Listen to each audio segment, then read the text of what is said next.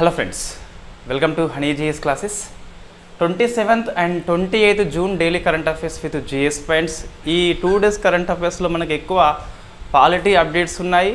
తర్వాత పర్యావరణంలో ఉన్నటువంటి అప్డేట్స్ కొన్ని కనిపిస్తున్నాయి. డిఫెన్స్ కరెంట్ అఫైర్స్ ఎక్కువ ఉంది. ఈ మూడు అంశాలు ఎక్కువ ఫోకస్ చేయాలి. ఏపీపీఎస్సీ గ్రూప్ టూ మెయిన్స్ కావచ్చు లేదా టీజీపీఎస్సీ గ్రూప్ టూ కావచ్చు. సో మనం ఫస్ట్ చూస్తే జూన్ ట్వంటీ సెవెన్ ఏదైతే ఉందో ఎంఎస్ఎంఈ డే అని చెప్పేసి జరుపుకుంటాం. So international MSME day.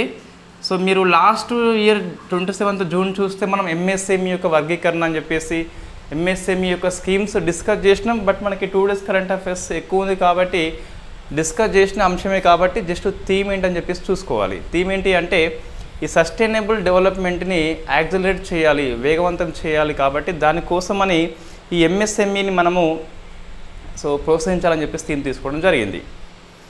Theme పెద్దగా ఉంది. సింపుల్ చెప్పాలంటే సస్టైనబుల్ డెవలప్మెంట్ అనేది యాక్సలరేట్ వేగవంతం చేయాలి అంటే ఎంఎస్ఎంఈ యొక్క ఎంకరేజ్మెంట్ అత్యవసరం అని చెప్పేసి మనకి కనిపిస్తుంది. సో నెక్స్ట్ చూస్తే మనకి polity articles. So twenty eighth June మనకి డే ఆఫ్ ఇంపార్టెన్స్ ఇక్కడ ఏమీ లేదు. సో చూస్తే ఫస్ట్ మనకి లోక్సభ డిప్యూటీ స్పీకర్ పదవి వార్తల్లో ఉంది. ఇన్ఫ్యాక్ట్ ఈ పాలిటీ ఆర్టికల్స్ అన్నీ కూడా ప్రతి ఆర్టికల్ కరెంట్ ఇష్యూ చేయవచ్చు సో మనం జూలై ఫస్ట్ వీక్లో ఇవన్నీ చేద్దాం.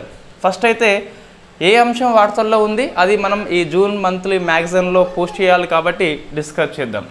సో లోక్సభ డిప్యూటీ స్పీకర్ పదవి మనకి వార్తల్లో ఉంది. వై బికాస్ ఈ సెవెంటీన్త్ లోక్సభ రెండు వేల పంతొమ్మిది నుంచి ఇరవై నాలుగు వరకు జరిగింది కదా. సో డిప్యూటీ స్పీకర్ పదవి మొత్తం ఖాళీగా ఉంది.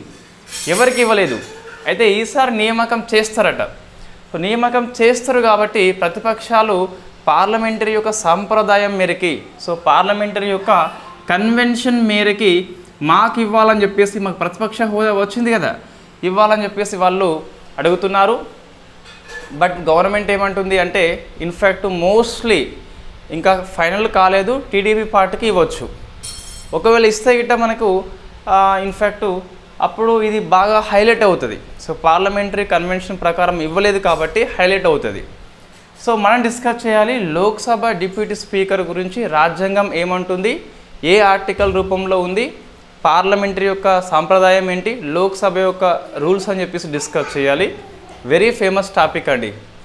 మనం కంపల్సరీ ఈ జూలై ఫస్ట్ వీక్లో ఒక క్లాస్ చేస్తాము. అందులో సభ అధ్యక్షులు వస్తారు. అంటే లోక్సభ వస్తారు రాజ్యసభ వస్తారు. తర్వాత సభ నాయకులు అని చెప్పేసి వస్తారు. లోక్సభలో ఎవరు ఉంటారు? రాజ్యసభలో ఎవరు ఉంటారు? నెక్స్ట్ తర్వాత సో విప్ అంటే ఎవరని చెప్పేసి వస్తారు తర్వాత ప్రతిపక్ష నేత అని చెప్పేసి ఈ నలుగురు సభలో నాయకులుగా ఉంటారు. సో నాలుగింటి విషయంలో లోక్సభ రాజ్యసభని కంపేర్ చేస్తూ సంపూర్ణంగా గ్రూప్ అండ్ మెయిన్స్కి పనికొచ్చేలా. గ్రూప్ అండ్ మెయిన్స్కి పనికి వస్తుందంటే ప్రతిపక్ష హోదా మనకి లాస్ట్ రెండు లోక్సభల్లో లేదు. సో ఇప్పుడు వచ్చింది. ఉపయోగాలు ఏంటని చెప్పేసి డిస్కస్ చేయాలి. లోక్సభ స్పీకర్ యొక్క క్వశ్చన్ లేకుండా మన గ్రూప్ వన్ మెయిన్స్ పేపర్ అంటూ ఉండదు. కాబట్టి అవి రెండు అంశాలు మెయిన్స్ కోసం పనికొస్తాయి. తర్వాత జిఎస్లో మనకి పాలిటీ కింద కూడా వస్తుంది. ఇప్పుడు మనం బ్రీఫ్గా చూస్తే లోక్సభ డిప్యూటీ స్పీకర్ గురించి రాజ్యాంగం ఏమంటుంది అంటే ఇక్కడ చూస్తే so ninety five sub class one ఏమంటుంది అంటే స్పీకరు డిప్యూటీ స్పీకరు పదవులు ఖాళీ ఉన్నట్లయితే మరొక వ్యక్తిని రాష్ట్రపతి గారు నియామకం చేస్తారు. Next ninety three sub class one in fact ఇదేమంటుంది అంటే స్పీకర్ని డిప్యూటీ స్పీకర్ని ఇద్దరిని కూడా సభా సభ్యులు as soon as possible so దగ్గరలో ఎన్నుకోవాలని చెప్పేసి నైంటీ త్రీ ఆర్టికల్ చెప్తుంది. ఏమంటుంది ఇక్కడ? షెల్ కంపల్సరీ ఎన్నుకోవాలి ఎవరిని స్పీకర్ని ఎన్నుకోవాలి అండ్ డిప్యూటీ స్పీకర్ని ఎన్నుకోవాలి as soon as possible so as soon as possible అంటే దగ్గరలో ఎన్నుకోవాలని చెప్పేసి చెప్తుంది. సో కాబట్టి డిప్యూటీ స్పీకర్ పదవి కాన్స్టిట్యూషనల్లీ మండేట్ అని చెప్పేసి గుర్తుపెట్టుకోవచ్చు. సో ఇది మనకి రాజ్యాంగంలో ఉన్నటువంటి ఆర్టికల్స్ డిప్యూటీ స్పీకర్ గురించి. నెక్స్ట్ చూస్తే నెక్స్ట్ చూస్తే ఇక్కడ సో మనకు లోక్సభ వచ్చేసి కొన్ని రూల్స్ రూపొందించుకుంటుంది. దాన్ని rules of procedure conduct of business అని చెప్పేసి పిలుస్తాం. ఆర్ఓపి సిఓబి అని చెప్పేసి లోక్సభ యొక్క ప్రవర్తన నియమావళి అని చెప్పేసి పిలుస్తాం. సో లోక్సభని అది రూపొందించుకుంటుంది. సో రాజ్యసభ కూడా ఉంటుంది. దీని ప్రకారం చూస్తే రూల్ నెంబర్ ఎనిమిది గుర్తుపెట్టుకోవాలి. రూల్ నెంబర్ కంటే ఆ రూల్ ఏం చెప్తుందని చెప్పేసి అది వెరీ ఫేమస్. ఇక్కడ డిప్యూటీ స్పీకర్ ఎన్నిక తేదీని స్పీకర్ నిర్ణయిస్తారని చెప్పేసి ఉంటుంది. సో డిప్యూటీ స్పీకర్ యొక్క ఎన్నిక తేదీని సో ఎన్నిక తేదీని ఎవరు అంటే స్పీకరు నిర్ణయిస్తారని చెప్పేసి ఉంటుంది. సో వెరీ ఫేమస్ క్వశ్చన్ అండి. ఇది రాజ్యాంగంలో లేదు. రాజ్యాంగంలో ఏముంటుంది మనకు అంటే నైంటీ త్రీ ఆర్టికల్లో సభా సభ్యులు ఎన్నుకుంటారని చెప్పేసి ఉంటుంది. ఇక్కడ చూస్తే మనకు డిప్యూటీ స్పీకర్ ఎన్నిక స్పీకర్ నిర్ణయిస్తాడు. ఇక్కడ ఉంది మనకంటే? Rules of procedure conduct of బిజినెస్లో ఉంది. మళ్ళీ గుర్తుపెట్టుకోవాలి. పార్లమెంటు సాంప్రదాయం కాదు. సభ నియమాల లోపల ఉన్నది. ఇది నైన్టీన్ ఫిఫ్టీ టూ నుంచి మనకి సిక్స్టీ నైన్ వరకు కూడా కాంగ్రెస్ వాళ్ళే అధికార పార్టీ వాళ్ళే ఉంటారు. సో మనకి తర్వాత ప్రతిపక్ష హోదా ఎవరికైతే వస్తుందో వాళ్ళకి ఇవ్వడము పార్లమెంటరీ సాంప్రదాయంగా మారిపోయింది. ఏమంటున్నా అంటే నైన్టీన్ సిక్స్టీస్ అనంతరం మాత్రమే ప్రతిపక్ష పార్టీకి ఇస్తున్నాం కానీ అంతకుముందు అయితే మనం ఇవ్వలే అని చెప్పి చూసుకోవాలి. సో రాజ్యాంగంలో ఉందా?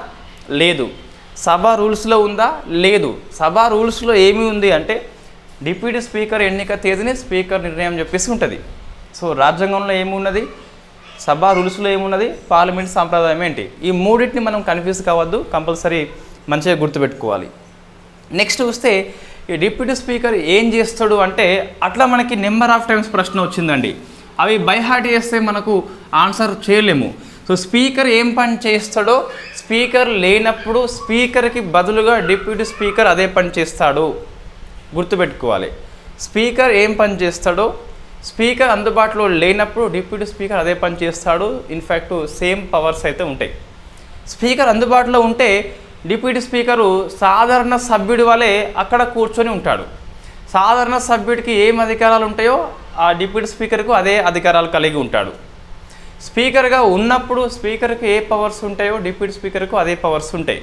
సో మనకి number of time casting vote అని చెప్పేసి అక్కడ ప్రశ్న వస్తుంది. డిప్యూటీ స్పీకర్ సభ అధ్యక్షత వహించినప్పుడు మాత్రమే ఫస్ట్ టైం ఓటింగ్ చేయరాదు. సాధారణ సభ్యుడి వల్లే ఉన్నప్పుడు ఫస్ట్ టైం ఓటింగ్ చేయవచ్చా? చేయవచ్చు. సింపుల్ అండి. డిప్యూటీ స్పీకరు అయితే సభ్యుడు లెక్కన ఉంటాడు. లేకుంటే స్పీకర్ లెక్కన ఉంటాడు. డిప్యూటీ స్పీకర్ డిప్యూటీ స్పీకర్ లెక్క ఉండడు. అది ఫస్ట్ గుర్తుపెట్టుకోవాలి. ఎవరు లెక్క ఉంటే వాళ్ళ లెక్కనే ప్రవర్తన చేస్తాడు. అది సింపుల్ అండి. పెద్ద ఇక్కడ అయితే ఏమి అవసరము లేదు. ఇంకోటి చూస్తే మనకు కొన్నిసార్లు ఇట్లా ప్రశ్న వస్తుందండి. ఇవన్నీ ప్రీవియస్ ఇయర్ క్వశ్చన్స్. రాష్ట్రపతి కనుక జాయింట్ సిట్టింగ్ సెషన్కి ఆహ్వానిస్తే జాయింట్ సిట్టింగ్ సెషన్కి ఇన్ఫ్యాక్ట్ స్పీకర్ అందుబాటులో లేకుంటే డిప్యూటీ స్పీకర్ అధ్యక్షత వహించవచ్చు. స్పీకర్ లేనప్పుడు వహించవచ్చు అని చెప్పేసి చూసుకోవాలి. ఇంకా కొన్ని చూస్తే అంతే అండి. ఈ తొలగింపు మనకు తెలుసు. పద్నాలుగు రోజులు ఇన్ఫ్యాక్ట్ అడ్వాన్స్ నోటీస్ ఇవ్వాలి ఎఫెక్టివ్ మెజారిటీతో తొలగిస్తారని చెప్పేసి మనకు తెలుసు. మొన్న బీహార్ స్పీకర్ విషయంలో మనం డిస్కస్ చేసి ఉన్నాము. సో ఇది మనకు లోక్సభ డిప్యూటీ స్పీకర్ గురించి వార్తల్లో ఉన్నటువంటి అంశము. నెక్స్ట్ చూస్తే మరొక ఇంట్రెస్టింగ్ చాలా ఇంట్రెస్టింగ్ అంశాలు వచ్చినాయండి. ఈ ప్రతిదీ మనం కరెంట్ ఇష్యూ చేయవచ్చు వాస్తవంగా. థర్టీ ఫార్టీ మినిట్స్ తీసుకొని చేయవచ్చు. ఇక్కడ అంతగానం అవసరం లేదు. ఏంటి అంటే ఈ పశ్చిమ బెంగాల్లో సో మన ఉప ఎన్నికలు జరిగినాయి. ఒక ఇద్దరు ఎమ్మెల్యేలు వాళ్ళ పేర్లు పేపర్లో వచ్చినాయి బట్ అవసరం లేదు. సో ఇద్దరు ఎమ్మెల్యేల యొక్క ఈ ప్రమాణ స్వీకారం మనకి వివాదాస్పదమైంది. సో ప్రమాణ స్వీకారం ఇన్ఫ్యాక్ట్ పాలిటీ మీరు అబ్జర్వ్ చేయండి కరెంట్ అఫైర్స్ కంటే కరెంట్ అఫైర్స్తో లింక్డ్ ఉన్న జిఎస్ పాయింట్స్ ఎక్కువ వస్తాయి. రైట్. ఇద్దరు ఎమ్మెల్యేలు ప్రమాణ స్వీకారం అని చెప్పేసి మనం జనరల్గా ప్రమాణ స్వీకారం ఎవరు చేయించాలంటే తొంభై తొమ్మిది ఆర్టికల్ మనకి ప్లస్ ఒక ఎనభై తొమ్మిది కూడితే మనకు ఇన్ఫ్యాక్ట్ ఎంత వస్తుంది? So in fact one eighty eight article ఉంది కదా. ఇవి రెండు ఆర్టికల్స్ సేమ్ అండి. ఇక్కడ పార్లమెంటరీ ఎంపీల గురించి మాట్లాడితే ఇదేమో ఎమ్మెల్యే అండ్ ఎమ్మెల్సీ గురించి మాట్లాడుతుంది. సో రాష్ట్రపతి చేయాలి లేదా రాష్ట్రపతి నియమించిన మరొక వ్యక్తి కావచ్చు. ఇక్కడ మనకు ప్రోటన్ స్పీకర్ అని చెప్పేసి ఉంటాడు. ఇక్కడ చూస్తే జనరల్గా ఉప ఎన్నికల లాంటి టైంలో రాష్ట్రపతి చేయిస్తాడు. లేదా రాష్ట్రపతి స్పీకర్కి డిప్యూటీ స్పీకర్కి ఆ రెస్పాన్సిబిలిటీ అప్పగిస్తే వాళ్ళు చేయిస్తారు. ఏమంటున్నా అంటే సో రాష్ట్రపతి చే చేపియాలి. లేదా రాష్ట్రపతి నియమించిన వ్యక్తి కూడా కావచ్చు. మోస్ట్లీ వీళ్ళు స్పీకర్ అయి ఉంటాడండి దాదాపుగా. ఇక్కడ ఏముంటుంది? రాష్ట్రపతి ఈజ్ ఈక్వల్ టు గవర్నర్ మనకి. సేమ్ గవర్నర్ ఇంకొక వ్యక్తిని ఎవరైనా నియమిస్తే వాళ్ళని చెప్పేసి ఉంటుంది. అయితే పశ్చిమ బెంగాల్ గవర్నరు ఇద్దరిని రమ్మన్నట సో వీళ్ళు వచ్చేలోగా ఢిల్లీ పోయిండట. సో మళ్ళీ సెకండ్ టైం ఆహ్వానిస్తే వీళ్ళు పోలేదు కాబట్టి ఇది డిస్ప్యూట్ అయ్యి కూర్చుంది మనకి. జనరల్గా గవర్నర్ ఏం చేయొచ్చు అంటే స్పీకర్కి ఆ, రెస్పాన్సిబిలిటీ అప్పగిస్తే సరిపోయేది. బట్ ఇక్కడ అప్పగించలేదు. ప్రభుత్వం ఏమంటుంది అంటే మీరు అప్పగించమని చెప్పేసి చెప్తుంది. సో మొత్తం మీద ఇక్కడ ఏం గుర్తుపెట్టుకోవాలి అంటే సభా సభ్యుల చేత ప్రమాణ స్వీకారం ఎవరు చేయించాలంటే తొంభై తొమ్మిది ఆర్టికల్ రాష్ట్రపతి అంటుంది. రాష్ట్రపతి నియమించిన వ్యక్తి కావచ్చు. మోస్ట్లీ వాళ్ళు ఎవరే ఉంటారు? స్పీకర్ లేదా డిప్యూటీ స్పీకర్ అని చెప్పేసి ఉంటారు. ఇక్కడ చూస్తే మనకి వన్ డబల్ ఎయిట్ అని చెప్పేసి ఆర్టికల్ ఉన్నది. ఇక్కడ మనకు రాష్ట్రపతి ఈజ్ ఈక్వల్ టు గవర్నర్ అని చెప్పేసి వస్తుంది. సో మనకి ఇది వార్తల్లో ఉంది కాబట్టి ఆ ఆర్టికల్ నెంబర్స్ గుర్తుపెట్టుకోవాలి. ఎప్పుడైనా సరే రాష్ట్రంలో ఉన్న ఆర్టికల్స్ గుర్తుపెట్టుకోవద్దు. నేను జనరల్గా తొంభై తొమ్మిది నాకు నోటికి వచ్చు అది కొన్నిసార్లు మనము ప్లస్ ఎనభై తొమ్మిది కొడితే సరిపోతుంది. రైట్ ఆర్టికల్స్ చాలా ట్రిక్స్ ఉన్నాయండి. సో అది మనం క్లాస్ చేద్దాం కంపల్సరీ చేద్దాం. నెక్స్ట్ పార్లమెంట్లో రాష్ట్రపతి యొక్క ప్రసంగం అని చెప్పేసి వార్తల్లో ఉంది. ఇది మనం కరెంట్ ఇష్యూ చేయవచ్చు వాస్తవంగా. సో పార్లమెంటులో రాష్ట్రపతి యొక్క ప్రసంగం అని చెప్పిస్తున్నది మనకు ఎప్పుడు అడ్రస్ చేయొచ్చు అంటే రెండు సందర్భాలు మనకు అనిపిస్తాయి ఆర్టికల్ నెంబర్ ఎనభై ఆరు ఉన్నది అండ్ ఎనభై ఏడు అని చెప్పేసి ఉన్నది ఎనభై ఆరు ఏంటి అంటే మనకు మే అడ్రస్ అని చెప్పేసి ఉంటుంది. ఎనభై ఏడు వచ్చేసి షెల్ అడ్రస్ అని చెప్పేసి ఉంటుంది. సో షెల్ అడ్రస్ రెండు ఆర్టికల్స్ చాలా డిఫరెంట్గా ఉంటుంది. మే అడ్రస్ మీన్స్ రాష్ట్రపతి ఉభయ సభల్ని ఉద్దేశించి ప్రసంగించవచ్చు సందేశాలు పంపవచ్చు. ఎనభై ఏడో ఆర్టికల్ రెండు సందర్భాల్లో షెల్ అడ్రస్ తప్పనిసరిగా ఇట్ ఈస్ కాన్స్టిట్యూషనల్లీ మండేట్ అంటే రాజ్యాంగ పరంగా తప్పనిసరిగా ప్రసంగం చేయాల్సిందే. ప్రసంగం చేయకుంటే రాజ్యాంగం ఉల్లంఘన కాబట్టి మనం తొలగించవచ్చు కూడా అని మనం డిస్కస్ చేస్తున్నాం ఇంతకుముందు ఆల్రెడీ సో షెల్ అడ్రస్ అని చెప్పేసి తప్పనిసరిగా ప్రసంగించాలి. ప్రసంగించకుంటే ఏంటి? రాజ్యాంగ ఉల్లంఘన కాబట్టి it is one of the ground మనం తొలగింపు తీర్మానం చేయవచ్చు రాష్ట్రపతి మీద. సో షెల్ అడ్రస్ మనకి ఎప్పుడు ఉంటుందంటే నూతన లోక్సభ ఎన్నిక అనంతరము. సో నూతన లోక్సభ ఎన్నిక అనంతరము ఫస్ట్ సెషన్లో కంపల్సరీ ప్రసంగించాలి. ఎవ్రీ ఇయర్లో సో ఎవ్రీ ఇయర్లో ఫస్ట్ సెషన్లో that is nothing but budget సెషన్లో ప్రసంగించాలి. ఈ పదం లేదు కానీ first session mostly budget session అవుతుంది కాబట్టి ఆ విధంగా మనం చదువుకుంటాం ఇక్కడ. సో రెండు సందర్భాల్లో షెల్ అని చెప్పేసి ఉంటుంది. సో రాష్ట్రపతి యొక్క ప్రసంగం మనకి ఉంటుంది. ఉభయ సభను ఉద్దేశించి ప్రసంగిస్తాడు. అటువైపు లోక్సభ స్పీకర్ ఇటువైపు రాజ్యసభ చైర్మన్ ఇద్దరు కూడా ఆ మీద ఉంటారు వాళ్ళు. సో ప్రసంగం అయిపోయినాక ప్రసంగం మీద చర్చ ఉంటుంది.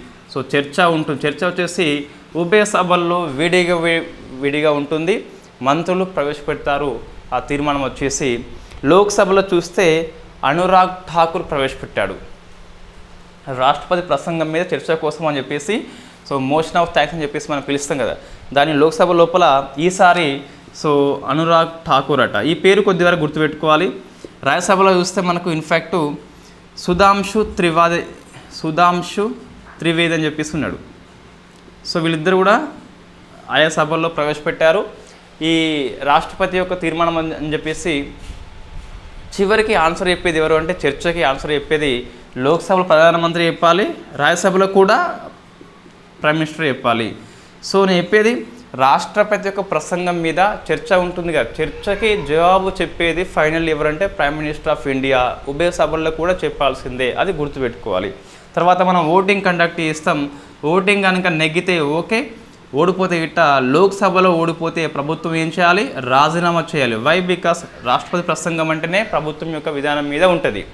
సో సభ గిట్ట ఆమోదించలేదంటే ప్రభుత్వం యొక్క పాలసీ మీద సభ విశ్వాసం లేదని చెప్పేసి భావించి వాళ్ళు రాజీనామా చేయాల్సిందే. ఇది అంతా మనం డిస్కస్ చేసిన ఆర్టికల్స్ అండి ఇవన్నీ కూడా. రైట్. ఎక్కువ మనకి జిఎస్ కిందకే వస్తున్నాయి ఇవన్నీ. నెక్స్ట్ స్పీకర్ ఎన్నిక మనకి జరిగింది. ఇది మనం స్పెషల్ క్లాస్ చేస్తామని చెప్పాం కదా అక్కడ చేద్దాం. సో రెండవసారి ఎన్నికయ్యాడు మన ఓం బిర్లా అని చెప్పేసి ఇతను రాజస్థాన్లోని కోటా నుంచి లోక్సభకి పోటీ చేయడం జరిగింది గెలవడం జరిగింది. సో లోక్సభ స్పీకర్గా పనిచేస్తే ఎన్నికల్లో దాదాపుగా ఓడిపోతారు. బట్ ఇతను విన్నాడు కాబట్టి కొంచెం మనం కోట అని చెప్పేసి ఆ నియోజకవర్గం పేరు గుర్తుపెట్టుకోవాలి. కొన్ని మనకి స్పెషల్గా ఉన్నాయి ఇతని గురించి చూస్తే. ఇతను రెండవసారి ఎన్నికైన ఐదో వ్యక్తి అండి. సో రెండవసారి ఎన్నికైన ఐదో వ్యక్తి అని చెప్పేసి గుర్తుపెట్టుకోవాలి. ఇంతకుముందు మనకి బలరాం జక్కర్ అని చెప్పేసి జిఎంసి బాలయోగ్ అని చెప్పేసి అనంతశయం అయ్యే అయ్యగారు అని చెప్పేసి తర్వాత ఇంకోళ్ళు గుర్దా యాల్ సింగ్ అని చెప్పేసి వీళ్ళంతా ఫోర్ ఫోర్ మెంబర్స్ పనిచేశారు. ఇతను ఫిఫ్త్ వ్యక్తి కాబట్టి గుర్తుపెట్టుకోవాలి.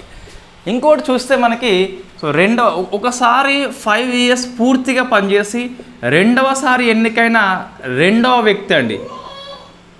సో ఏమంటున్నా ఫైవ్ ఇయర్స్ పూర్తిగా పనిచేసి రెండవసారి ఎన్నికైన రెండవ వ్యక్తి. సో అంతకుముందు మనకి బలరాం జక్కర్ అని చెప్పేసి ఫస్ట్ కనిపిస్తాడు. రైట్. ఇది మనకు ఆ స్పీకర్ గురించి సో స్పీకర్ గురించి మనం తర్వాత క్లాస్ డిస్కస్ చేద్దాం. అయితే ఈ స్పీకర్ పదవికి ఇద్దరు పోటీ చేస్తారు. ఒకవైపు మన ఓం బిర్లా అయితే మరొక వైపు కాంగ్రెస్ అభ్యర్థి కె సురేష్. జనరల్లీ ఏమవుతుందంటే స్పీకర్ పదవికి పోటీ చేయరు. ఎందుకోసం అంటే అధికార పార్టీ అభ్యర్థే ఎన్నికవుతారు కాబట్టి ఈ అపోజిషన్ పార్టీ పక్కకు తప్పుకుంటుంది. అయితే ఈసారి డిప్యూటీ స్పీకర్ పదవి ఇస్తలేమని చెప్పేసి చెప్పారు కాబట్టి సో స్పీకర్ పదవి కూడా కాంగ్రెస్ అభ్యర్థిని వాళ్ళు పెట్టడం జరిగింది. సో ఇది ఎన్నిక చూస్తే మనకి నైంటీ సెవెంటీ సిక్స్లో చివరిసారిగా మనకి లోక్సభ స్పీకర్ కోసం అని చెప్పేసి ఎన్నిక జరుగుతుంది. So almost forty eight years అనంతరం జరిగింది కాబట్టి ఆ ఫార్టీ ఎయిట్ అని చెప్పేసి నెంబర్ గుర్తుపెట్టుకోవాలి కంపల్సరీ. రైట్ ఇంతకుముందు మనకి మూడు సార్లు ఎన్నిక జరిగింది స్పీకర్ కోసం అని చెప్పేసి. సో నోట్స్లో ఉంది చూసుకోండి పంతొమ్మిది వందల యాభై రెండులో జరిగింది ఎన్నిక. అరవై ఏళ్ళలో జరిగింది అండ్ డెబ్బై ఆరులో కూడా మనకి జరిగిందని చెప్పేసి చూసుకోవాలి. సో డిప్యూటీ స్పీకర్ ఎన్నిక మనకి అరవై ఏడు నుంచి తర్వాత ఈ అపోజిషన్ పార్టీకి అనేది ఇవ్వడం జరుగుతుంది. సో అది మనం గుర్తుపెట్టుకోవాలి. ఇప్పుడు ఇస్తలేరు కాబట్టే స్పీకర్ పదవి కూడా పోటీ చేయడము జరిగింది అట. సో మూడు సార్లు ఎన్నికైంది. ఇది నాలుగోసారి అని చెప్పేసి గుర్తుపెట్టుకోవాలి. ఎన్నిక కోసం పోటీ అని చెప్పేసి. నెక్స్ట్ మనకు ఈ కాగ్ విషయంలో ఒక హెరిటేజ్ మ్యూజియాన్ని మనం ఏర్పాటు చేసుకున్నాం. ఈ కాగ్ పదవి ఉంది కదా. సో కాగు పదవి అని చెప్పేసి ఎప్పుడు ఏర్పడింది? దాని యొక్క విజయాలని చెప్పేసి ఇండియా యొక్క డెవలప్మెంట్లో దాని యొక్క పాత్ర అని చెప్పేసి ఒక మ్యూజియాన్ని మనం ఏర్పాటు చేసుకుంటున్నాము. సిమ్లా లోపల ఉన్న చాడ్విక్ అని చెప్పేసి ఒక హౌస్ ఉంటుంది. సో చాడ్విక్ హౌస్ లోపల సిమ్లాలో ఉన్న చాడ్విక్ హౌస్ లోపల ఈ కాగ్ కోసం అని చెప్పేసి హెరిటేజ్ మ్యూజియాన్ని మనం ఏర్పాటు చేసుకున్నాం. దీన్ని మన గిరీష్ చంద్ర ముర్ము గారు స్టార్ట్ చేయడం జరిగింది. వెరీ ఫేమస్ క్వశ్చన్ ఈ ఇక్కడ ఏముంటుందంటే కాగ్ యొక్క వారసత్వం మొత్తము మ్యూజియం రూపంలో మనకి వాళ్ళు భద్రపరుస్తున్నారు. సో మనం వెళ్ళి విజిట్ చేసి తెలుసుకోవచ్చు కాగ్ అనేది ఏం పని చేసిందని చెప్పేసి. నెక్స్ట్ చూస్తే మనకి ఈ ఓవైసీ మనకి వార్తల్లో ఉన్నాడు. ప్రమాణ స్వీకారం టైంలో ఇన్ఫ్యాక్ట్ ఇతను జై పాలస్తీన్ అని చెప్పేసి చెప్పడం జరిగిందట. సో ఇన్ఫ్యాక్ట్ ఇట్లా చెప్పడము చట్ట విరుద్ధం వాస్తవం కూడా. ఏమవుతుంది అంటే మనకు so article number one nought two and one nought three అని చెప్పేసి వెలుగులోకి వస్తాయి రెండు ఆర్టికల్స్. ఇది కరెంట్ ఇష్యూ మనం చేయొచ్చు దీన్ని కూడా. వన్ నాట్ టూ వన్ అనేది ఇన్ఫ్యాక్ట్ ఇది అనర్హత గురించి చెప్తుంది. వన్ నాట్ త్రీ వచ్చేసి ఈ డిస్క్వాలిఫై చేసే అధికారము రాష్ట్రపతికి ఉంటుంది ఎన్నికల సంఘం యొక్క అభి అభిప్రాయం మేరకు అని చెప్పేసి ఉంటుంది. సో ఎన్నికల సంఘం యొక్క అభిప్రాయం మేరకు అని చెప్పేసి ఉంటుంది. One naught three article. One naught two ఆర్టికల్లో డిఫరెంట్ డిఫరెంట్ మనకి కొన్ని కండిషన్స్ అనేవి కనిపిస్తాయి. డిస్క్వాలిఫై ఎప్పుడు చేయొచ్చు అని చెప్పేసి. కొన్ని చూస్తే మనకి ఆఫీస్ ఆఫ్ ప్రైవేట్ అని చెప్పేసి ఉంటుంది. ఇందులో ఉన్నాయి చెప్తున్నాను నేను. సో ఆఫీస్ ఆఫ్ ప్రైవేట్ కింద కూడా డిస్క్వాలిఫై చేయవచ్చు రాష్ట్రపతి వన్ జీరో త్రీ ఆర్టికల్ ప్రకారము. సో నెక్స్ట్ సెకండ్ వచ్చేసి అన్సౌండ్ మైండ్ అని చెప్పేసి. సో కోర్టు ప్రకటిస్తే లేదా దివాలా కోర్ అని చెప్పేసి ప్రకటిస్తే దివాలా కోర్ అని చెప్పి ప్రకటిస్తే లేదా సో మన ఏది వేరే దేశం యొక్క పౌరసత్వము స్వీకరించిన వేరే దేశం పట్ల విధేయత చూపెట్టిన విధేయత చూపెట్టినా కూడా డిస్క్వాలిఫై అయిపోతాడు. As per one naught two ఆర్టికల్లో ఉన్న కండిషన్ బట్టి జై పాలస్తీన్ అన్నాడు కాబట్టి పాలస్తీనా విదేశీ కంట్రీ కాబట్టి సో విధేయత ఉంది కాబట్టి మనకి ఒబిడియంట్ ఉంది కాబట్టి డిస్క్వాలిఫై చేయొచ్చు అంటే రాష్ట్రపతి కనుక వన్ జీరో త్రీ ఆర్టికల్ యొక్క అధికారం ఉపయోగించుకొని ఎన్నికల సంఘం అభిప్రాయం కోరితే ఎన్నికల సంఘం డిస్మిస్ చేయమంటే డిస్మిస్ చేయాల్సిందే. సో మనకి ఇన్ఫ్యాక్ట్ ఏం గుర్తుపెట్టుకోవాలంటే వన్ నాట్ టూ వన్ ఆర్టికల్లో సబ్ క్లాస్ డి అని చెప్పేసి విదేశీ దేశం పట్ల విధేయత కలిగి కలిగి ఉన్నాడు కాబట్టి ఓవైసీని డిస్క్వాలిఫై చేయవచ్చా చేయవచ్చు మనము. ఎప్పుడు చేయవచ్చు అంటే వన్ జీరో త్రీ ఆర్టికల్లో ఎన్నికల సంఘం కనుక సలహా ఇచ్చినట్లయితే రాష్ట్రపతి గారు చేస్తారు. ఇది మనం గుర్తుపెట్టుకోవాలి కంపల్సరీ. సో మనం క్లాస్ చేస్తాం కంపల్సరీ. ఏది డిస్క్వాలిఫై విషయంలో వివిధ స- సందర్భాలు అని చెప్పేసి. సో నెక్స్ట్ చూస్తే మనకు ఇవన్నీ పాలిటీ ఆర్టికల్స్ అండి. ఎన్ని పాలిటీ ఆర్టికల్స్ వచ్చినాయి మనకు మొత్తం మీద చూస్తే one two three four five six seven అని చెప్పేసి వచ్చినాయి. ఈ సెవెన్ ఆర్టికల్స్ కంప్లీట్లీ జిఎస్ పాయింట్సే కరెంట్ అఫైర్స్ బేస్ చేసుకొని చూస్తే ఓం బిర్లా అని చెప్పేసి గుర్తుపెట్టుకోవాలి. రెండవసారి ఎన్నికైన ఐదవ వ్యక్తి ఒకసారి ఐదు సార్లు పనిచేసి సెకండ్ టైం ఎన్నికైన సెకండ్ వ్యక్తి అని చెప్పేసి గుర్తుపెట్టుకోవాలి. నెక్స్ట్ మనకు ఎకనామీ ఆర్టికల్స్ ఉన్నాయి.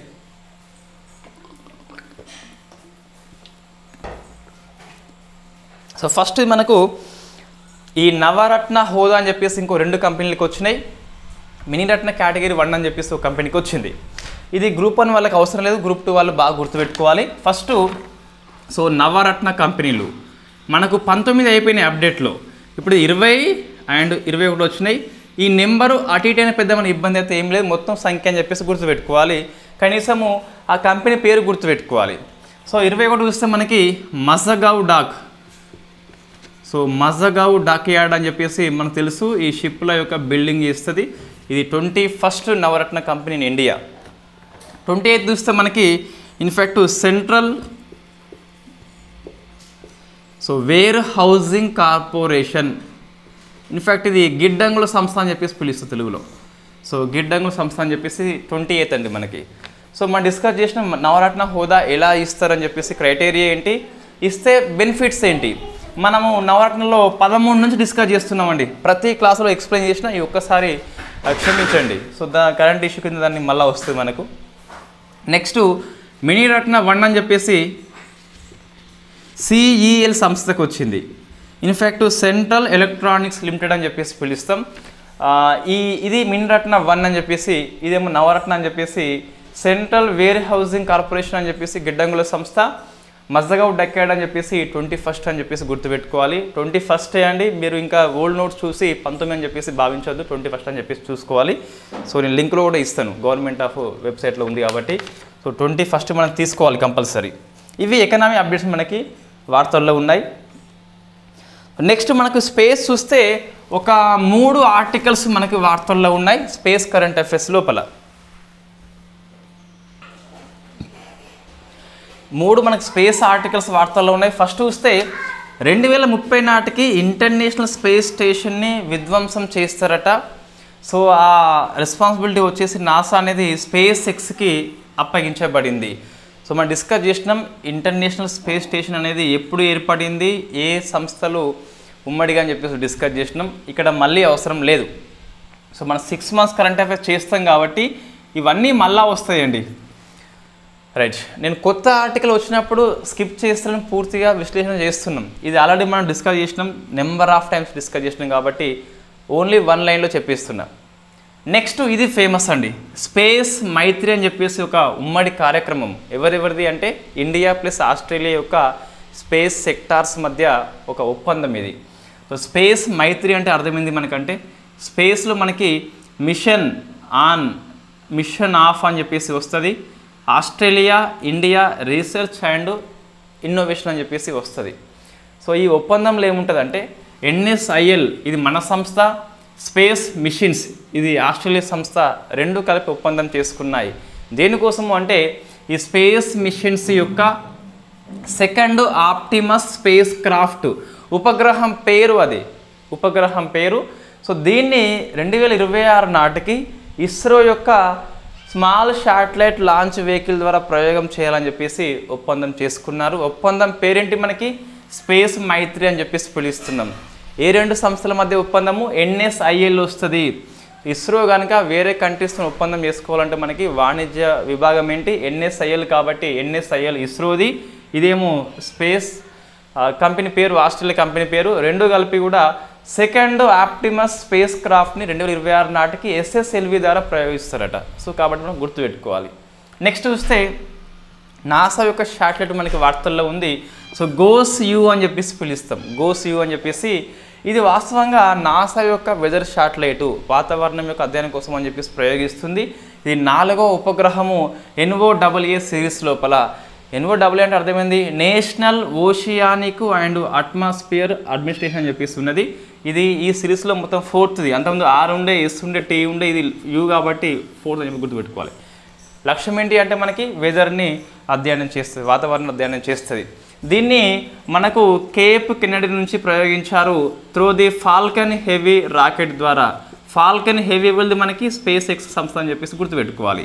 ఈ మూడు స్పేస్ ఆర్టికల్స్ కూడా వెరీ ఫేమస్ కంపల్సరీ అందులో ఒకటేమో ఇండియా ప్లస్ ఆస్ట్రేలియా ఉంది ఒకటి నాసా ఉంది ఇంకోటేమో ఐడబ్ల్యూఎస్ అని చెప్పేసి ఉంది. నెక్స్ట్ డిఫెన్స్ ఆర్టికల్స్ వస్తాయి. సో మొత్తం మనకి ఆరు డిఫెన్స్ ఆర్టికల్స్ వార్తల్లో ఉన్నాయి. కొన్ని కొత్త అంశాలు ఉన్నాయి కొన్ని రిపీట్ అంశాలు ఉన్నాయి. కొత్త కొద్దిగా ఎక్కువ ఎక్స్ప్లెయిన్ చేద్దాం. ఫస్ట్ వస్తే మనకి ఎక్సర్సైజ్ హోపెక్స్ ఎక్స్ అని చెప్పేసి వార్తల్లో ఉంది. ఇది ఇండియా ప్లస్ ఈజిప్ట్ యొక్క ఎయిర్ ఫోర్స్ మధ్య జరిగే ద్వైపాక్షిక విన్యాసం అని చెప్పేసి పిలుస్తాం. దీన్ని ఈజిప్ట్ ఎయిర్ ఫోర్స్ హోస్ట్ చేస్తుంది. సో మనకేంటి? ఇండియా ప్లస్ ఈజిప్ట్ యొక్క ఎయిర్ ఫోర్స్ అని చెప్పేసి గుర్తుపెట్టుకోవాలి. నెక్స్ట్ ఇంకోటి ఫ్రీడమ్ ఎడ్జ్ అని చెప్పేసి మరొకటి వార్తల్లో ఉంది. ఫ్రీడమ్ ఎడ్జ్ ఎక్సైజ్ అనేది మూడు కంట్రీస్ అనేవి కండక్ట్ చేసుకుంటున్నాయి. ఆ మూడు కంట్రీస్ పేరు చూస్తే మనకు యుఎస్ఏ ఉంది జపాన్ ఉంది అండ్ సౌత్ కొరియా అని చెప్పేసి ఉన్నది. ఈ ఇది హోస్ట్ కంట్రీ వస్తే సౌత్ కొరియాలోని జెజు ఐలాండ్ అనేది కండక్ట్ చేస్తుంది. ఇది army navy and air force మూడు కూడా దీనిలో పాల్గొంటున్నాయి. సో ఇది వెరీ ఫేమస్ ఫస్ట్ ట్రైలాటరల్ అని చెప్పేసి పిలుస్తాం. Between the USA Japan and South Korea మధ్య. ఫ్రీడమ్ ఎడ్జ్ ఎక్సర్సైజ్ ఫస్ట్ది కాబట్టి. అండ్ ఇటీవల మనకి ఈ ఉత్తర కొరియా రష్యా మధ్య ఒక ఒప్పందం జరిగింది కాబట్టి దానికి స్పందనగా చూస్తే సౌత్ కొరియా హోస్ట్ చేస్తుంది కాబట్టి ఎక్కువ జియో పాలిటిక్స్ కిందికి వస్తుంది. So USA Japan South Korea యొక్క trilateral exercise between the army navy and air force అనేవి పార్టిసిపేట్ అవుతున్నాయి. సో ఏ ప్లేస్ మనకి జెజు అని చెప్పేసి గుర్తుపెట్టుకోవాలి. జెజు అని చెప్పేసి సౌత్ కొరియా అని చెప్పేసి గుర్తుపెట్టుకోవాలి. నెక్స్ట్ ఇది ఇంపార్టెంట్ది. మనకు ఎప్పుడు రిపీట్ కాలేదు ఇది. సో కొత్త ఆర్టికల్. మీడియం రేంజ్ ఎంఓసిఆర్ అని చెప్పేసి మనకి ఇది డిఆర్డిఓ జోధ్పూర్ కార్యాలయం తయారు చేసింది. ఇండియా నేవీకి అప్పగించింది. సో దాని ఉపయోగం ఏంటి మనం చూసుకోవాలి. సో ఫస్ట్ పేరేంటి మనకి? మీడియం రేంజ్ ఎంఆర్ అంటే ఎంఓసిఆర్ అంటే మనకి so microwave obscurant chaff rocket అని చెప్పేసి వస్తుంది. ఇంగ్లీష్ వర్డ్స్ ఉన్నప్పుడు మనం తెలుగులో పదం తెలుసుకోవాలి. ఇక్కడ ఏం లేదు. మన ఎన్మీ కంట్రీస్ యొక్క రాడర్లకి గుర్తుపట్టకుండా ఒక రక్షణ వ్యవస్థ మనకు ఏర్పాటు చేస్తుంది. సో రాడర్ యొక్క సిగ్నల్స్ని తగ్గిస్తుంది. వేరే కంట్రీస్ ఉంటాయి కదా. సో రాడర్లు ఏం చేస్తాయి? గుర్తుపడతాయి. వాటి సిగ్నల్స్ తగ్గిస్తాయి. సో అబ్స్ట్రకెంట్ అబ్స్కరెంట్ మీన్స్ మనకి డిక్రీజ్ అని చెప్పేసి అర్థం వస్తుంది. సో రాడర్ సిగ్నల్స్ని తగ్గించి చుట్టూ మైక్రోవేవ్తో ఒక షీల్డ్ లాంటి రక్షణ కవచాన్ని ఏర్పాటు చేస్తుంది. అదే మనకి ఎంఆర్ ఎంఓసిఆర్ అని చెప్పేసి పిలుస్తాం. సో ఏంటి మనకి ఎనిమి కంట్రీస్ యొక్క రాడర్కి పట్టుబడకుండా వాటి సిగ్నల్స్ తగ్గించి మన దాని చుట్టూ ఒక షీల్డ్ లాంటిది ఏర్పాటు చేస్తుంది మైక్రోవేవ్స్తోని. అదే మనకు ఎంఆర్ ఎంఓసిఆర్ అని చెప్పేసి పిలుస్తాం. జోధ్పూర్ ఆఫీస్ తయారు చేసింది. నెవీకి అప్పగించారు కాబట్టి ప్రశ్న వస్తుంది మనకు. సో ఇక్కడ ఆఫీస్ పేరు గుర్తుపెట్టుకోవాలి ఉపయోగం గుర్తుపెట్టుకోవాలి. నెక్స్ట్ మనకి సో తపస్ అని చెప్పేసి ఒక డ్రోన్ వార్తల్లో ఉంది. ఇది ఇంతకుముందు రుస్తం టూ అని చెప్పేసి మనం పిలిచినాం. ఇది రిపీట్ ఆర్టికల్ అండి. మరొకసారి వార్తల్లో వచ్చింది ఒక పది తపస్సులు ఇండియన్ ఎయిర్ ఫోర్స్ అని చెప్పేసి కొనుగోలు చేసింది ఇన్ఫ్యాక్ట్ డిఆర్డిఓ నుంచి. అయితే ఇది తపస్సు ఏంటి? డ్రోన్ కదా. ఏ రకమైన డ్రోన్ మనకి? మేల్ అని చెప్పేసి పిలుస్తాం. మగ మనిషి కాదు ఇక్కడ. సో ఆ డ్రోన్ యొక్క ఎత్తు ఆ ఎత్తులో ఎంతకాలం ఉంటుందని చెప్పేసి. సో మీడియం ఆల్టిట్యూడ్ అంటే ముప్పై వేల ఫీట్స్ వరకు ఇది ఎగురుతుంది. లాంగ్ ఎండినెన్స్ కలిగి ఉంటుంది ఎక్కువ కాలం అది గాల్లోనే ఉంటుంది. సుమారుగా ట్వంటీ ఫోర్ అవర్స్ అని చెప్పేసి గుర్తుపెట్టుకోవాలి. టీజీపీఎస్సీ నెంబర్స్ ఫోకస్ చేస్తుంది కొన్నిసార్లు కాబట్టి సో మీడియం అన్నప్పుడు ఎంత ఎత్తుకు అని చెప్పేసి లాంగ్ అన్నప్పుడు ఎన్ని అవర్స్ అని చెప్పేసి గుర్తుపెట్టుకోవాలి. ముప్పై వేల అడుగుల ఎత్తులో ప్రయాణం చేస్తే ట్వంటీ ఫోర్ అవర్స్ పాటు అక్కడనే ఉంటుందట ఇది. సో రుస్తం టూని మనం తపస్సు అని చెప్పేసి పేరు మార్చుకోవడం జరిగింది. నెక్స్ట్ ఇది ఫేమస్ అండి. సో కాలుబార్ వార్ మెమోరియల్ మ్యూజియాన్ని ఇండియన్ ఆర్మీ అని చెప్పేసి లడఖ్లో ఏర్పాటు చేస్తుంది. ఎందుకోసం అంటే మనకు సో జూలై ట్వంటీ సిక్స్త్ అని చెప్పేసి ఏంటి అది? మనకు కార్గిల్ విజయ్ దివాస్ కదా. సో ఈ ట్వంటీ ఫోర్ ఇయర్లో మనకు ట్వంటీ ఫైవ్ ఇయర్స్ సెలబ్రేషన్స్ అని చెప్పేసి స్పెషల్గా వన్ మంత్ ముందే జూన్ ట్వంటీ సిక్స్త్న స్టార్ట్ చేయడం జరిగింది. అందులో భాగంగా ఇండియన్ ఆర్మీ అని చెప్పేసి జూన్ ఇరవై ఆరున కాలుబార్ వార్ మెమోరియల్ మ్యూజియాన్ని ప్రారంభం చేయడం జరిగింది. ఇందులో ఏముంటుందంటే ఈ కార్గిల్ వార్లో బలి అయిన లేదా వీరమరణం పొందిన సైనికులు ఎవరైతే ఉన్నారో వాళ్ళ గురించి అక్కడ మనకి స్టోరీస్ అయితే ఇస్తారట వాళ్ళు. సో అది టూరిజం పర్పస్ పనికొస్తే దేశభక్తి కూడా మనకి ఎక్కువైతే పెంచుతుంది. నెక్స్ట్ అభ్యాస్ ఇది మన రిపీట్ ఆర్టికల్ అండి. సో ఈ అభ్యాస్ అనేది అన్ని టెస్టులు పూర్తి చేసుకుంది ఉత్పత్తి స్టేజ్కి పోయిందని చెప్పేసి మనకి ఈనాడు పేపర్లో వచ్చిన ఆర్టికల్. సో అభ్యాస్ అంటే మనం ఇక్కడ హీట్ అని చెప్పేసి పిలుస్తాం. High speed ex expendable aerial target దీన్ని మనం పిలుచుకుంటాం. So Abhyas means nothing but heat అని చెప్పేసి పిలుస్తాం.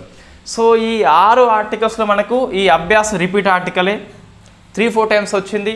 రుస్తం టు రిపీట్ ఆర్టికలే సో మిగతా అన్ని కొత్తవి కాబట్టి ఈ రెండు కాకుండా ఈ వన్ టూ ఫోర్ ఫైవ్ మీద ఎక్కువ ఫోకస్ చేయాలి. అందులో ఫ్రీడమ్ ఎడ్జ్ ఎక్సైజ్ అనేది వెరీ ఫస్ట్ టైం ఉత్తర కొరియా రష్యా యొక్క ఒప్పందానికి స్పందనగా యుఎస్ఏ ప్లస్ యు ఎస్కే ఏవైతే ఉన్నాయో ఒప్పందం లోపల జియో పాలిటిక్స్ కిందకి వస్తుంది కాబట్టి ఎక్కువ ఫోకస్ చేయండి.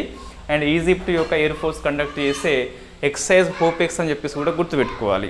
ఈ అభ్యాస్ అండ్ రుస్తం టూ ఇవి రెండు రిపీట్ ఆర్టికల్స్ కాబట్టి మనం స్కిప్ చేస్తున్నాం. ఓన్లీ హెడ్డింగ్ పెట్టేసినాం కానీ సో నోట్స్లో నేను ఏం రాయలేదు దాని గురించి. మంత్లీ మ్యాగజైన్లో అప్డేట్ చేద్దాం తర్వాత.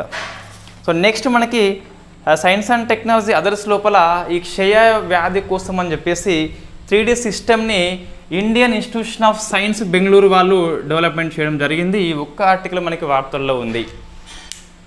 సో నెక్స్ట్ వెరీ ఫేమస్ పర్యావరణ అంశాలు. సో తొమ్మిది అంశాలు మనకి వార్తల్లో ఉన్నాయండి. సో రాద్దాం ఒకసారి.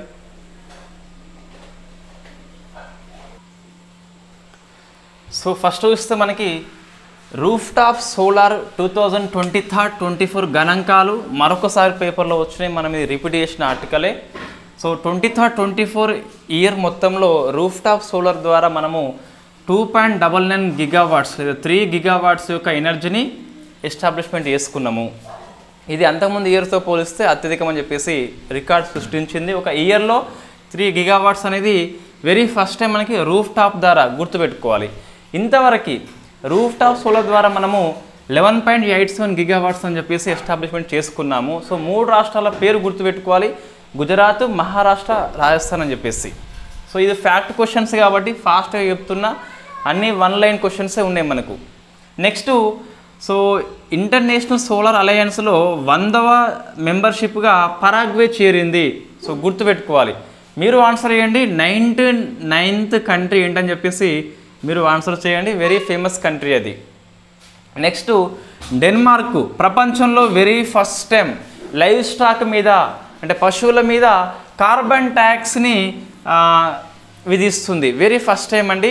అంటే పశువుల నుంచి వచ్చే మనకు ఆ వ్యర్థాల ద్వారా సీఓటు బయటకు వచ్చినప్పుడు దాన్ని లెక్కిస్తున్నాడు లెక్కించి లైవ్ స్టాక్ మీద సో ఫస్ట్ టైం అని చెప్పేసి కార్బన్ ట్యాక్స్ గుర్తుపెట్టుకోవాలి.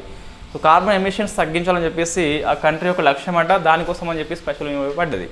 సో పశువుల మీద కార్బన్ ట్యాక్స్ అని చెప్పేసి వెరీ ఫస్ట్ టైం కాబట్టి గుర్తుపెట్టుకోవాలి. సో మీకు ఇది చూస్తే ఇంకో కంట్రీ గుర్తుకు రావాలి. సో న్యూజిలాండ్ గుర్తుకు రావాలి. సో న్యూజిలాండ్ అనే దేశము ఏ ట్యాక్స్ని రద్దు చేసింది? సో అది కొద్ది వరకు లైఫ్ స్టాక్ కిందకే వస్తుంది. సో నెమరేవ్ జంతువుల జంతువుల నుంచి బయటకు వచ్చే మీథేన్ని రద్దు చేస్తుంది న్యూజిలాండ్ కంట్రీ అని చెప్పేసి. ఇదేమో విధిస్తుంది అదేమో రద్దు చేస్తుంది. సో ట్యాక్స్ పేరు మీరు ఆన్సర్ చేయండి.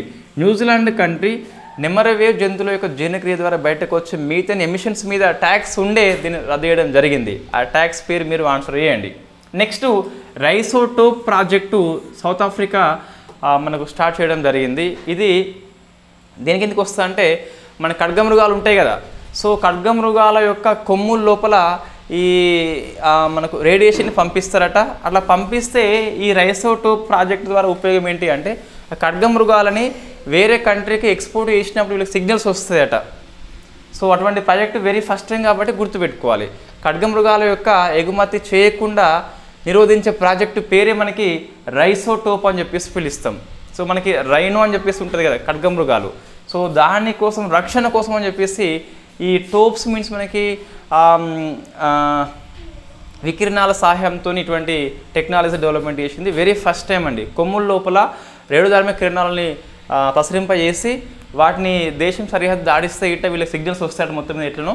సో ఇది ఫస్ట్ టైం కాబట్టి గుర్తుపెట్టుకోవాలి. నెక్స్ట్ బన్నేరగట్ట బయోలాజికల్ పార్క్ వార్తల్లో ఉంది. ఇది కర్ణాటక రాష్ట్రంలో ఉంటుంది. ఈ బన్నేరగట్ట యొక్క జాతీయ పార్కులో అంతర్భాగంగానే ఈ బయోలాజికల్ పార్క్ ఉంటుంది. రికార్డ్ ఏంటి అంటే సౌత్ ఇండియా లోపల కర్ణాటక కాబట్టి మొట్టమొదటి లియోపార్డ్ సఫారీని స్టార్ట్ చేసుకున్నాం మనం. చిరుతపూర్ సఫారీ అని చెప్పి స్టార్ట్ చేసుకున్నాం తర్వాత ఇంకా రికార్డ్ ఏంటి అంటే భారతదేశం మొత్తంలో లార్జెస్ట్ లియోపాడ్ సఫార్ అని చెప్పేసి ఈ బండెరగట్ట బయోలాజికల్ పార్కే. ఇక్కడ ఉంది కర్ణాటక కాబట్టి మనకి సౌత్ ఇండియాలో ఫస్ట్ది ఇండియాలో పెద్దదని చెప్పేసి గుర్తుపెట్టుకోవాలి. నెక్స్ట్ ఇగాత్ పూరి మనకి మహారాష్ట్ర లోపల ఉంటుంది. మన పేపర్లో రాష్ట్రం పేరు ఇవ్వలేదు కానీ సో పశ్చిమ కనుమల్లో అని చెప్పేసి ఇవ్వడం జరిగింది. పశ్చిమ కనుమల్లో ఇగాత్ పూరి అంటే అది మహారాష్ట్ర అని చెప్పేసి గుర్తుపెట్టుకోవాలి. మహారాష్ట్ర లోపల రైల్వే ప్రొటెక్షన్ ఫోర్స్ ఆర్పిఎఫ్ వాళ్ళు ఈ రైల్వేల ఆధ్వర్యంలో very first time floating solar power ప్లాంట్ని నెలకొల్పారు. వెరీ ఫస్ట్ టైం కాబట్టి తేలియాడే సౌర కేంద్రం అని చెప్పేసి పిలుస్తాం. టెన్ మెగావాట్ సామర్థ్యం కలిగి ఉంటుంది.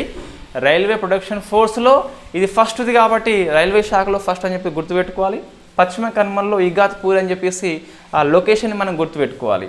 నెక్స్ట్ చూస్తే సో జైపూర్ మిలిటరీ స్టేషన్ వార్తల్లో ఉంది. ఇది ఏంటంటే భారతదేశంలో ప్లాస్టిక్ వ్యర్థాలతోని రోడ్ని వాళ్ళు వేయడం జరిగింది. ఈ సెకండ్ టైం మనకు మిలిటరీ చూస్తే గిట. ఫస్ట్ చూస్తే గిట రెండు వేల పంతొమ్మిది ప్రాంతం లోపల అస్సాంలో ఉన్న నారంగి మిలిటరీ స్టేషన్ వాళ్ళు కూడా ప్లాస్టిక్ వ్యర్థాలు ఉపయోగించి రోడ్ని నిర్మిస్తారు. సో సెకండ్ మిలిటరీ చూస్తే మనకి జైపూర్ అని చెప్పేసి గుర్తుపెట్టుకోవాలి. ఇది వార్తల్లో ఉంది కాబట్టి ఫస్ట్ మనకి నారంగి అని చెప్పేసి అస్సాం గుర్తుపెట్టుకోవాలి.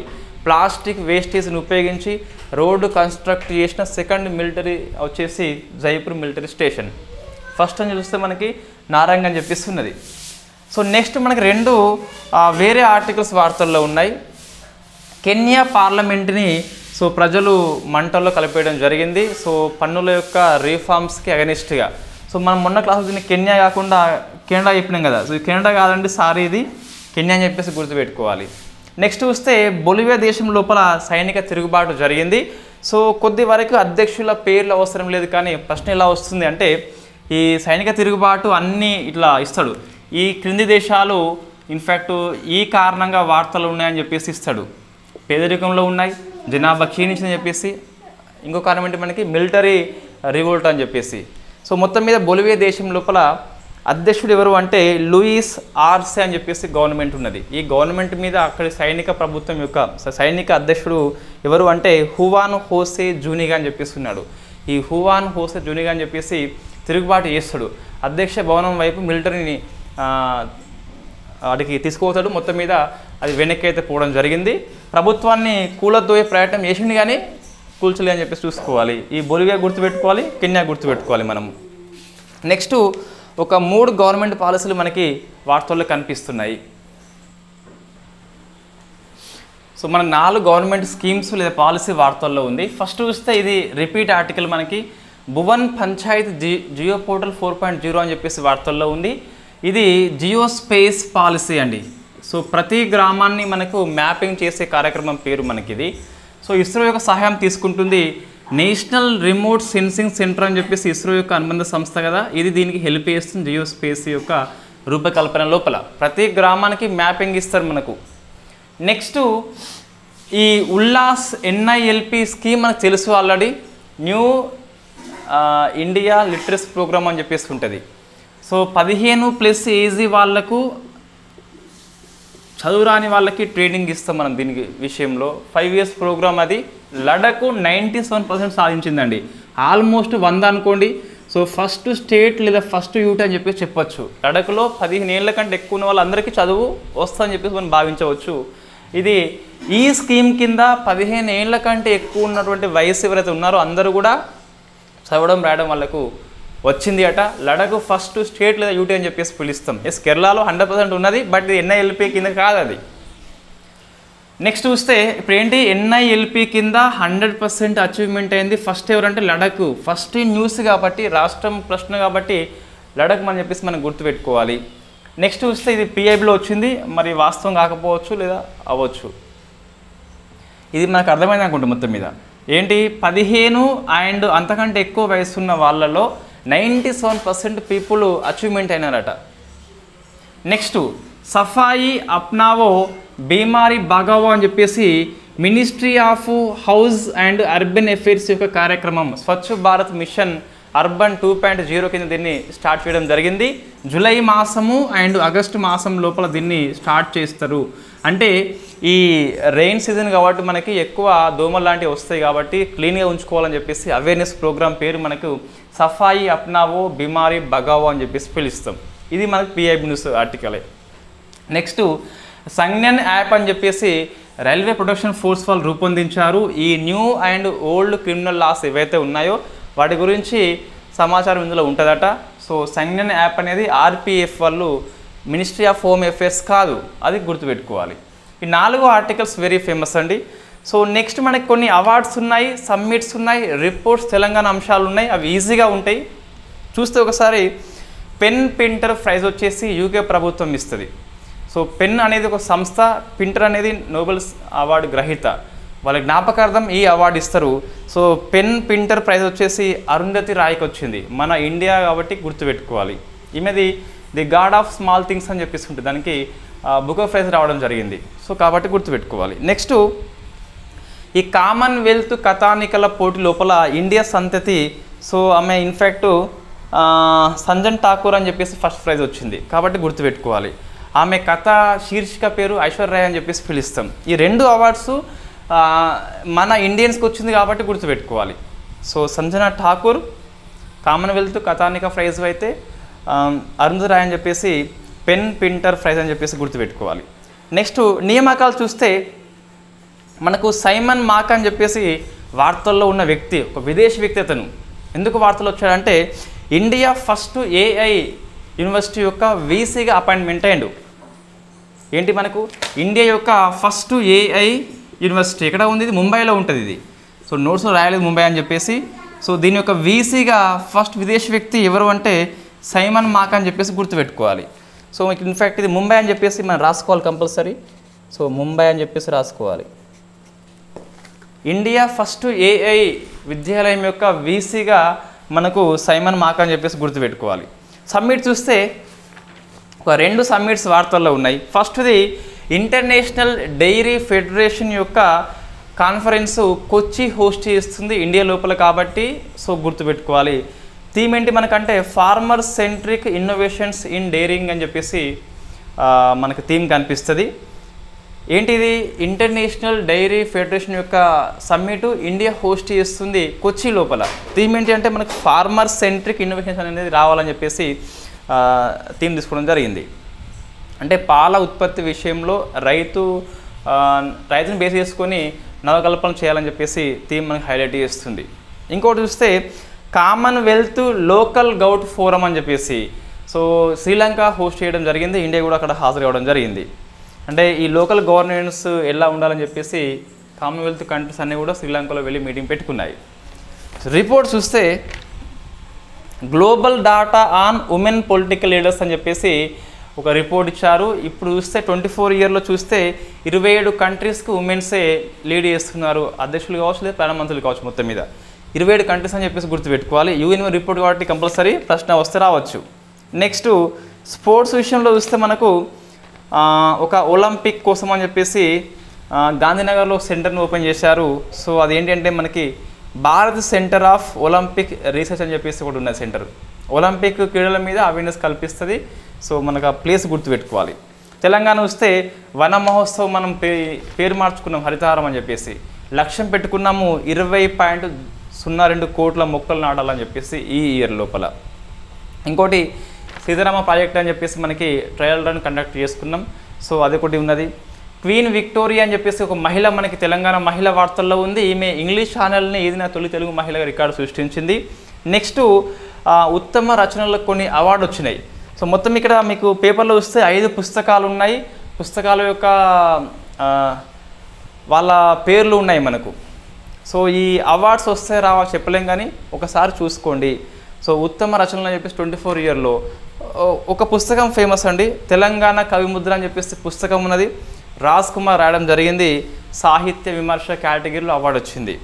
ఇంకో పుస్తకము ఇది అద్దం నా చిరునామా కాదుగా అని చెప్పేసి పుస్తకం పేరు. సో రాసిన ఆమె నిర్మల అని చెప్పేసి పిలుస్తాం. వచన కవిత కేటగిరీలో అవార్డు వచ్చింది. ఇంకోటి శ్రీ రామాయణ అని చెప్పేసి బాబు దేవదాస్ శర్మ రాయడం జరిగింది. పద్య గేయ కేటగిరీ లోపల. ఇట్లా మనకు కొన్ని పుస్తకాలు ఉన్నాయి మొత్తం మీద. ట్వంటీ ఫోర్ ఇయర్లో ఉత్తమ గ్రంథాలని చెప్పేసి తెలంగాణ ప్రభుత్వం ఇచ్చిన అవార్డ్స్ అవన్నీ. కాబట్టి మనం గుర్తుపెట్టుకోవాలి తప్పదు. గ్రూప్ టూ వాళ్ళు. ఇది కరెంట్ అఫైర్స్ అండి. సో ఇన్ఫ్యాక్ట్ ఇందులో మనకి విశ్లేషణ అనదగ్గ ఇక్కడ ఏవి లేవు. వన్ లైన్డే ఉన్నాయి కాబట్టి చూసి రాయడం జరిగింది. సో మొత్తం మీద మనకి కరెంట్ అఫైర్స్ పెండింగ్ లేదు ఇంకా. దీంతో APSC group two mains almost postpone దాదాపు. ఆల్మోస్ట్ పోస్ట్ పోన్ కాబట్టి మళ్ళీ ఇంకేమైనా లోపాలు ఉంటే ఆ లోపాలను సరిచేసుకుంటూ ఇంతకుముందు మనకు ఎగ్జామ్ కనుక జూలైలో ఉన్నట్లయితే సో మనం సరిగ్గా రాయలేకపోయినామని చెప్పేసి అనుకున్న వాళ్ళు ఏం చేయాలి అంటే ఇంతవరకు ప్రిపరేషన్ ఏం జరిగింది? పూర్తిగా అన్టచ్ అంటే ఇంతవరకు నువ్వు ముట్టని ఏంటి? ఆ ముట్టని వాటిని ఈ జూలై మంత్లో చూసుకోవాలి. ఎగ్జామ్ ఎప్పుడు ఉంటుందో మనకు తెలియదు. సో పోస్ట్ పోన్ అని చెప్పేసి ఆల్మోస్ట్ కన్ఫామ్ ఇంకా ఇంకేం కాలేదు. బట్ మనకి దాదాపు అయితే తెలుస్తుంది ఈజీగా ఒకసారి మీరు కన్ఫామ్ అయినట్టు అయితే అనిపిస్తే ఏం చేయాలి ఫస్ట్ అంటే అన్టచ్ టాపిక్స్ మొత్తానికి ఏవైతే ముట్టలేదో వాటిని ఫస్ట్ టచ్ చేయాలి. ఒక ఐడియా తెచ్చుకోవాలి. ఫ్రెండ్స్ సహాయం తీసుకోవాలి. లెక్చరర్ సహాయం తీసుకొని మొత్తం మీద ఒక ఐడియా తెచ్చుకొని సో తర్వాత మళ్ళీ రివిజన్ ప్లాన్ చేయాలి. ఈ టైంను ఎట్లా అంటే మనం ఏవైతే చదవలేదో వాటికి ఎక్కువ కేటాయించాలి. జూలై మాసము పోస్ట్ పోన్ అయితే గిట్టారు నాకు తెలియదు ఏం తెలియదు వాస్తవంగా. ఏపీఎస్ తెలియదు టీపీఎస్ గ్రూప్ అసలే తెలియదు. గ్రూప్ అని మాత్రం ట్వంటీ ఫస్ట్ అక్టోబర్కి స్టార్ట్ అవుతుంది. Thank you very much